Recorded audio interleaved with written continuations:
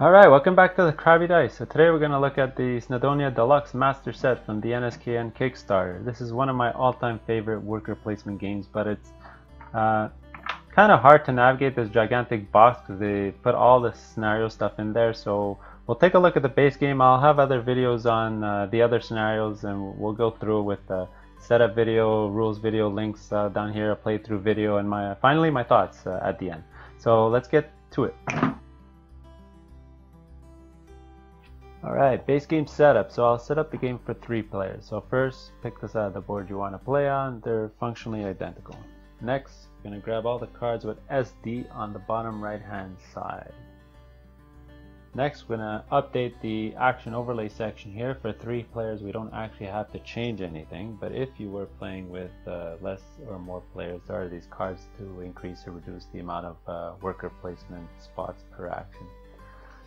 Next, we're going to grab our track cards, give it a nice shuffle, because along with the uh, station cards, we're going to build our route up the mountain. So the station cards are marked in order from 1 through 7. Uh, there are some that you'll have to keep an eye on for player count. And on the top left here, you'll see how many uh, track cards are between this station and the previous station. So for station number 1, there are two track cards between this and the previous station. For station 2, there's only one. You'll do this for all the stations up the mountain. I won't bore you with this step, but you get the idea.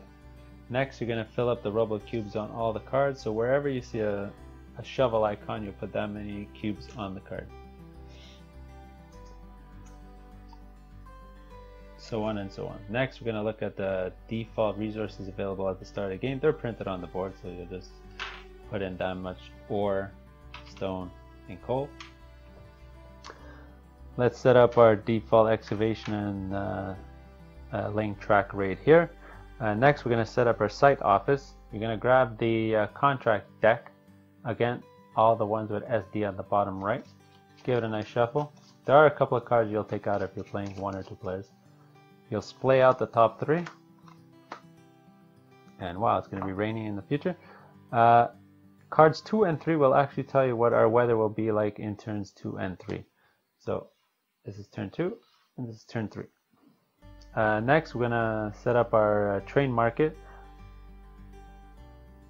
I'll put all these cards on the board. All you really need to know about these trains is some of them do start with coal on them so you're going to put those coal cubes directly on the card so they don't go into the bag. Next we're going to set up our bag.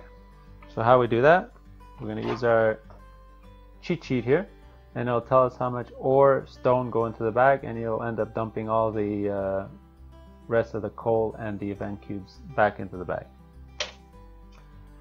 Next, for players, you give them two workers and 16 markers. You'll put their third worker in the pub. You'll put their surveyor at base camp. And I think that's it. This is what it should look like when we're done. Well, here's the setup for three players. Uh, a couple of things. I like to keep these tokens on the board for easy access. And uh, lastly, there's a special card. You'd want to keep it close by. You'll use it near the end of the game.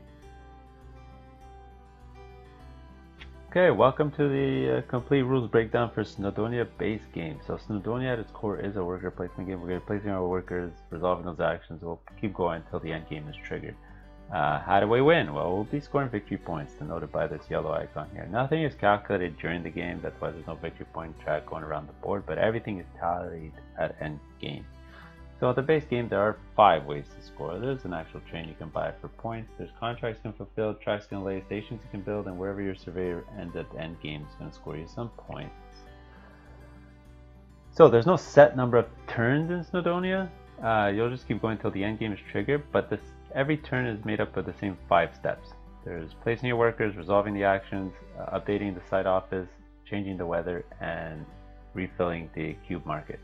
So let's talk about each of those. So step one is placing your workers. So starting with the first player and working clockwise, you're each going to be placing your workers on the available spots up here.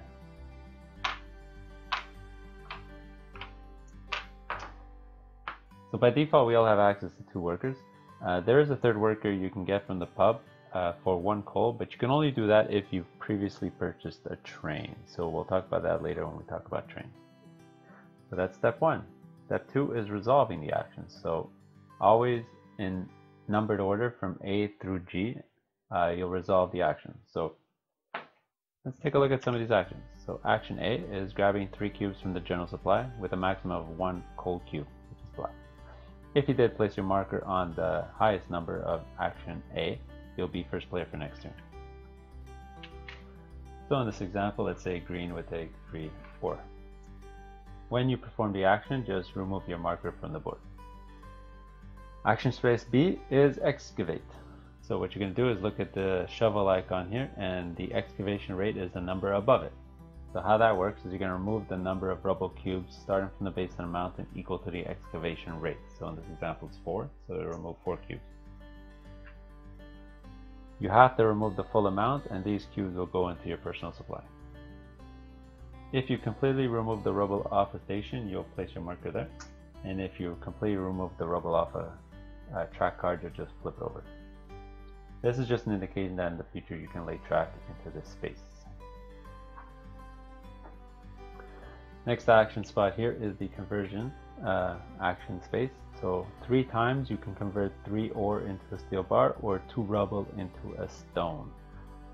The stone will actually come from the bag and the ore that you use would actually go back into the bag.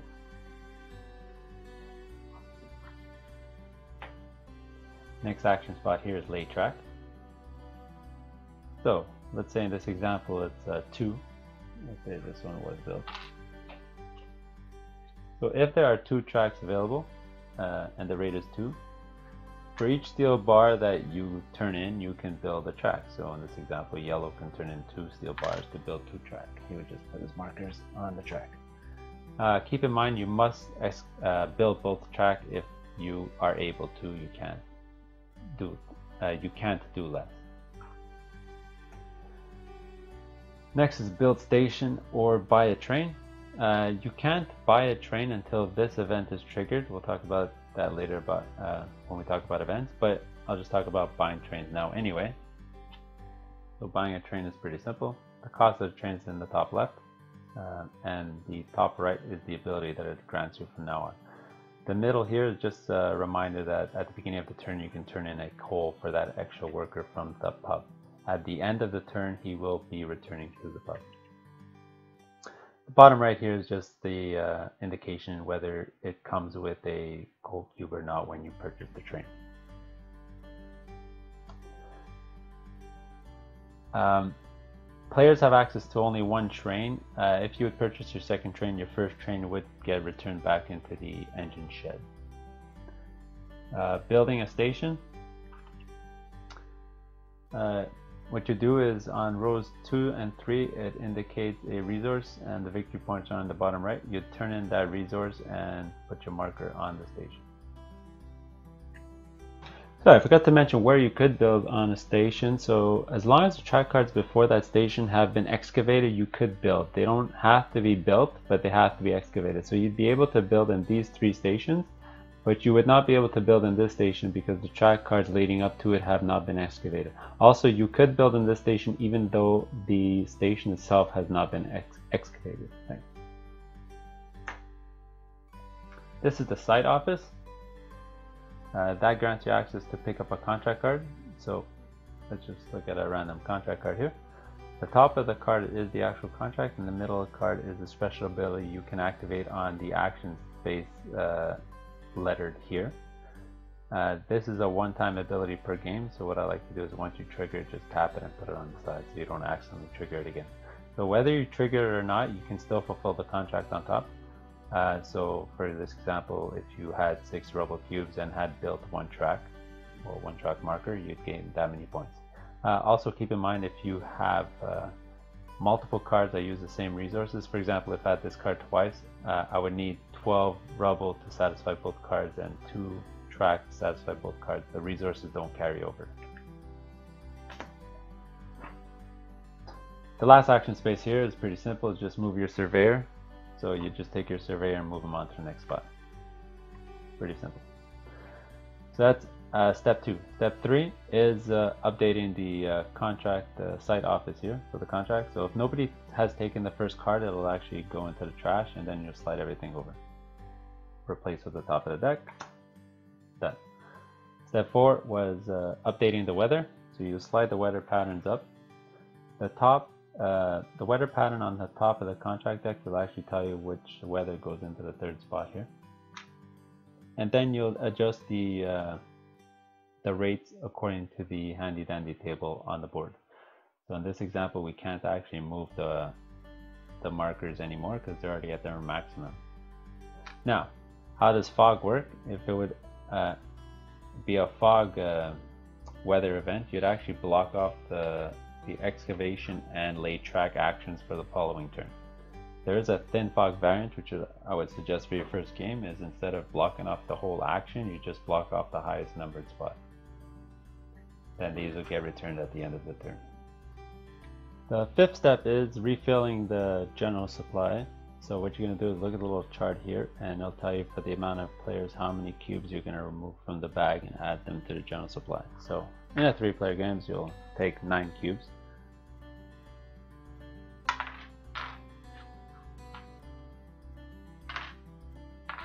So there are white cubes. What are white cubes? White cubes are event cubes. So how that works is whenever you pull a white cube, you'll just add, cover up an event and trigger the event.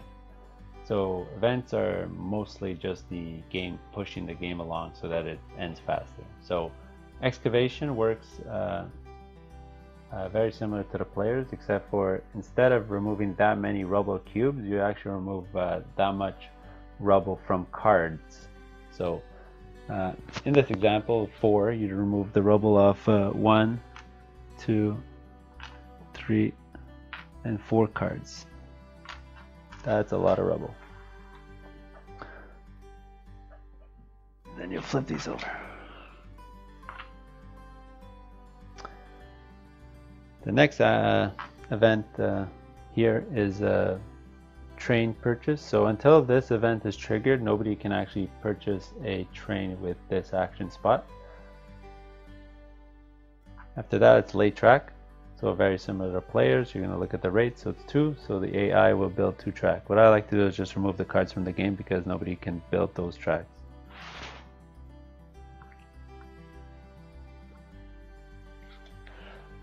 Um, in this case where uh, there is only one track available and the next track has rubble on it, it will actually uh, excavate and build track uh, when building the rail.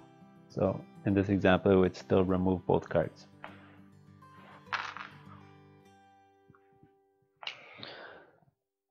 Uh, now, the next uh, event here is build station. So how that works is uh, starting from the base of the mountain, you're going to take one of these do not build tokens and place it on the first station that is not 100% complete. So in this example, you'd put it on this card uh, in a situation where this one was 100% complete, you'd put it onto the next card. Now, any uh, scoring tokens would still score at the end game if they were, even if that token would be placed onto this card.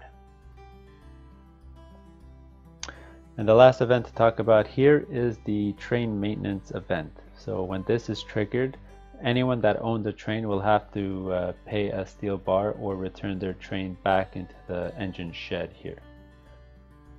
Uh, always remember that once, if you remove, uh, return a train into the shed, you need to uh, add a coal from the bag if it has uh, a coal icon on the bottom right of the card. Uh, now at the end of the turn, if you triggered action space 4, 7, and 10, uh, below it it will tell you which cubes actually get returned back into the bag. So here would be these three would return back into the bag. And that does it for a whole turn. Don't forget to return your third worker if you had one. And you're just going to keep going until the game end is uh, triggered. So game end triggers in two ways. The first is if the a player builds a last track, so that'll be this space here, then you would end the turn at the end of that turn. Uh, you'd end the game at the end of that turn. Or if the AI would build it using one of the events here, uh, what you do is you'd play one more round and then end the game. After that, you'll tally up the points and figure out who won. There's only one last thing I need to mention. There is this special card here. If at any point uh, you run out of uh, cubes to excavate, what you do is you'll actually replace this card on top of action space B. Uh, so you have extra spaces to uh, build on the uh, stations. So that's it.